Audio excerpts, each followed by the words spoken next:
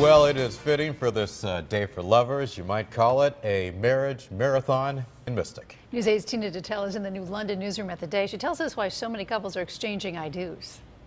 This is the fifth year Marie Tyler Wiley has offered free weddings on Valentine's Day. Now, she loves what she does, and she just couldn't accept money on this day. You get out of marriage what you put into it. Some free advice to go along with the free weddings. A passion for Marie Tyler Wiley, who eloped with her husband 20 years ago. It was completely unromantic, so I live vicariously through my couples. I give them the wedding I always wanted. Diane and Carlos are among several couples to walk down this aisle at the meeting house in Old Mystic Village today. And there's no cold feet here. I know exactly what I'm getting myself into.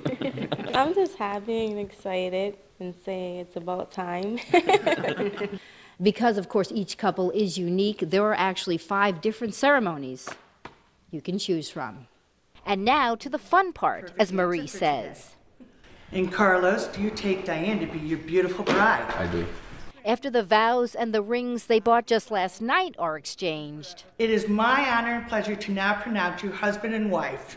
Carlos, you may kiss your beautiful bride. a day to remember for each couple and for this Justice of the Peace, who does this to help those just starting out and to celebrate what Valentine's Day is all about. Congratulations, Mr. and Mrs. Hernandez. Let the celebration begin. You're married. If you're watching this story and you say, hey, that is a great idea, be assured Marie Tyler Wiley will be back at Old Mystic Village next Valentine's Day, and she's hoping more people will show up. In the New London newsroom at the day, Tina Detelj, News 8.